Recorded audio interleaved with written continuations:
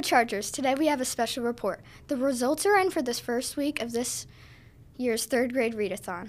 We're excited to announce it's a tie for challenge number one. The two classes who submitted the most reading pledge sheets are Mrs. Doneto's class and Mrs. Hughes's class.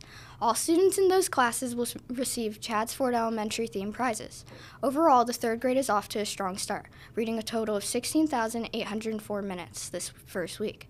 However, the class who read the most, totaling 6,977 minutes, is Mrs. Dweeze's class. That means that you've won this week's special reward of lunch with the principal. Mrs. Clark can't wait to celebrate your win. Only 100 minutes separate the first and second place, so keep up, so keep up your reading, and your class could win next week's reward. Great job, third graders!